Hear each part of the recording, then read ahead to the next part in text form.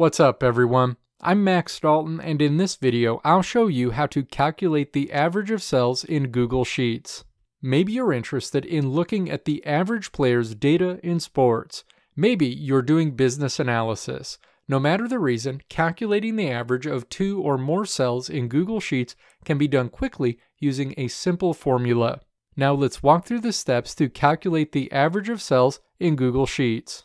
Step 1. Open the Google Sheets document where you want to calculate an average. In this example, I've got Tom Brady's career football stats. Step 2. Click to select the cell you want to populate the average into and then enter equal average left parentheses into that cell. Step 3. Click to select or highlight the range of cells you want to calculate the average of for in that cell, and then press enter when you're done. In this example, I'll calculate the average number of yards Tom Brady has thrown per season, which I can see is nearly 3,482 yards per season. Repeat this process for any other cells you want to calculate the average for.